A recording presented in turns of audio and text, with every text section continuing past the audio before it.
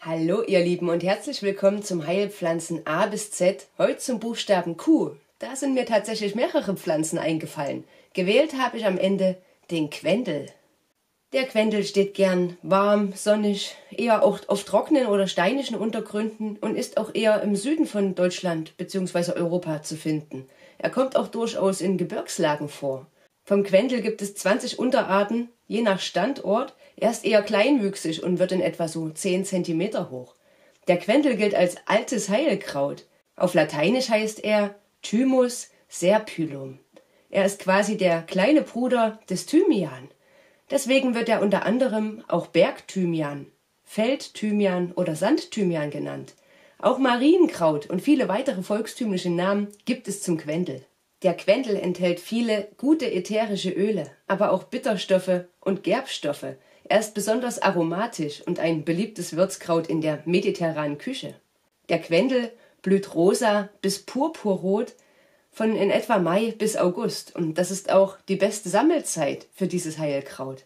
Der Quendel hat eine uralte Tradition als Heilkraut und Heilpflanze. Schon in der Antike hat ihn Plinius Secundus erwähnt. 200 vor Christus hat er ihn schon Serpillus genannt, was seinen heutigen Artenname ausmacht. Damals war der Quendel Teil eines Heiltrankes, der gegen Gifte schützen sollte. Es gibt auch Nachweise, dass im Altertum, besonders auf Sizilien, der Quendel gemeinsam mit Rosen als Opfergabe an die Liebesgöttin dargebracht wurde. Auch die Germanen haben den Quendel ihrer großen Göttin Freya gewidmet. Im Mittelalter hat man den Quendel auch Marienkraut oder Marienbettstroh genannt. Das zeigt an, dass er in dieser Zeit besonders als Kraut der Frauenheilkunde benutzt wurde. Im Volksglauben wurde der Quendel sogar zur Dämonenabwehr genutzt, aber auch um Unwetter und böse Geister vom Haus fernzuhalten. Dazu hat man natürlich Kränze geflochten aus dem Quendel.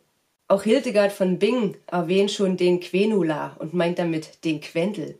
Sie beschreibt in ihren Werken bereits den Einsatz von Quendel bei Hauterkrankungen. Sie sagt, dass Hauterkrankungen, die durch krankes Fleisch herrühren, wunderbar mit dem Quendel behandelt werden können. Die Wirkungsweisen des Quendel sorgen laut Hildegard von Bingen dafür, dass man von innen heraus geheilt und gereinigt wird und deswegen die Haut auch heilen kann. Sie empfiehlt den Quendel mit Fleisch oder Gemüse eine Weile mitzukochen und regelmäßig mit der Nahrung zu sich zu nehmen.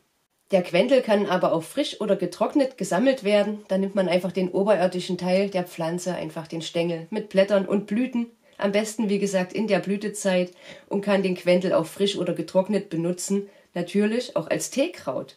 Ebenso wie den Thymian kann man ihn wunderbar in Teemischung hinzufügen und je nach Beschwerden auch nochmal mit speziellen Kräutern kombinieren. Als Tee angewandt ist der Quendel besonders empfohlen bei Atemwegserkrankungen, besonders bei Husten und Erkältung, denn er fördert das Abhusten. Auch bei Verdauungsproblemen und Magenkrämpfen ist der Quendel schon lange im Einsatz. Und besonders auch bei Frauenleiden wie Menstruationsproblemen wurde der Quendel eingesetzt. Ich habe hier alte Teerezepte gefunden. Bei Erkältung war damals empfohlen, den Quendel gemeinsam mit Malve und Basilikum als Tee zu trinken. Und für Wechseljahrsbeschwerden habe ich gefunden, dass man den Quendel halbe halbe mit Schafgabe als Teekraut benutzt. Der Quendel kann nicht nur eingenommen als Tee oder mit unseren Speisen gut helfen, sondern er kann auch zur äußerlichen Anwendung genutzt werden. Zum Beispiel als Badezusatz, Umschläge oder für Waschungen kann man natürlich auch einen ja, starken Quendeltee ansetzen.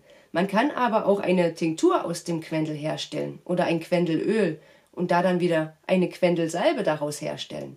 Sowas gibt's aber natürlich auch im Handel zu erwerben. Besonders bei Hautausschlägen, bei Akne, bei Neurodermitis und Hautentzündung kann der Quendel äußerlich angewandt richtig gut helfen. Auch bei Wunden, Quetschungen und Prellungen kann man den Quendel einsetzen. Vielleicht habt ihr ja Quendel in eurer Nähe, auch wild wachsen. Da kann man durchaus mal auf Kräuterwanderungen gehen, ob man solche Schätzchen wie den Quendel in seiner Umgebung entdecken kann. Den Quendel kann man natürlich genauso wie den Thymian in den eigenen Garten holen oder auch in den Balkonkasten oder in den Blumentopf. Ich hoffe, auch heute war wieder etwas Interessantes und Neues für euch dabei. Morgen kommt eine Heilpflanze mit dem Buchstaben R. Habt bis dahin einen wunderschönen Tag, ihr Lieben. Tschüss!